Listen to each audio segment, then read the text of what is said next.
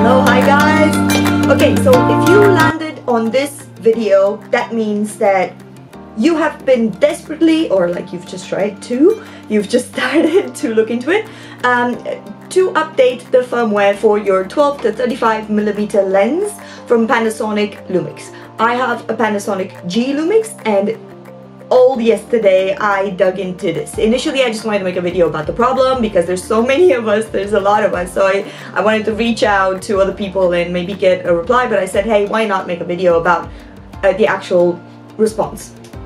I have gathered a lot of information from a lot of groups. Um, I find that Facebook groups are very, very useful in doing this um, like Panasonic G, Lumix groups and all that. They're very good, so if you have any problem of any kind, just join those groups and the people are so helpful. And like, if anybody's watching this, thank you so much. Thank you. you guys really, really helped. Okay?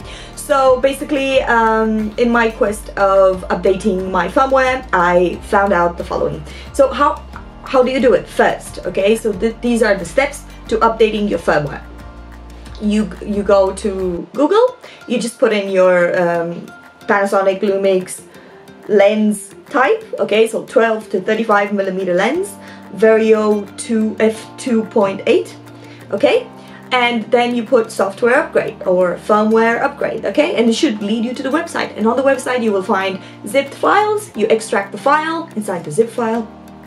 It's filed too many times. Anyway, you extract the file and with the extracted file, you go to the SD card. So you take the SD card of your camera, you copy paste this onto this SD card, and then you insert the SD card into the camera. And then you just press the playback button. The, okay, I have a G8, Panasonic G8, so for me it's the green button, the green button, play, playback. And it should go into, would you like to update, kind of, you know, screen. But for me, it was so annoying, that annoying error. No valid photos to display. I tried everything. I tried doing it faster. I tried different SD cards.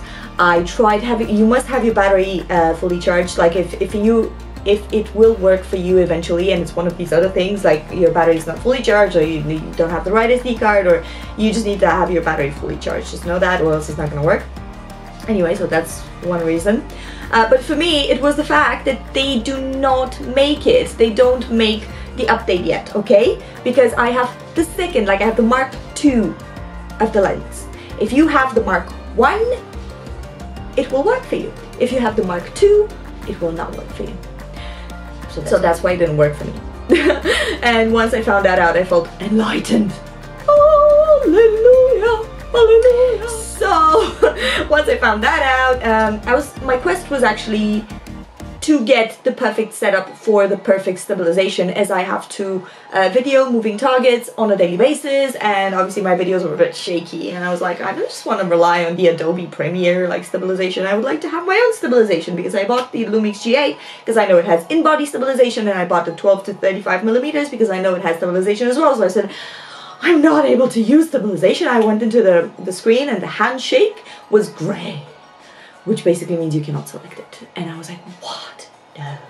So um, that's what, what, you know, I've set up, set out on this quest of, of finding out why is my handshake gray.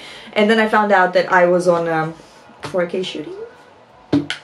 It was set to 4K shooting, so in 4K shooting you cannot have that. Okay, so uh, yeah, that's another thing. Take note. If your handshake or whatever other settings is off, it might be a 4K, it might be, there's a lot of like different settings that obstruct different other settings, so yeah. Anyway, anyway, so in the end I ended up like leaving it as it is, like my, my lens is not updated, it's a one, it's a one, and I'm hoping they're gonna bring out the 1.3 because I know that's gonna be a lot better. And Thank you for um, watching yeah. and please subscribe and comment and all these things. That'd be great. I really appreciate it and I just what I'm about is really tech, fitness, travel and life matters which is about everything.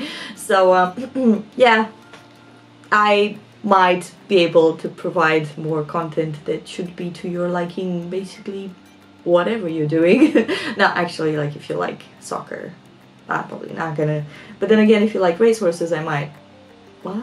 Yeah. anyway, okay, have a great day. Thank you guys, and I hope this was helpful.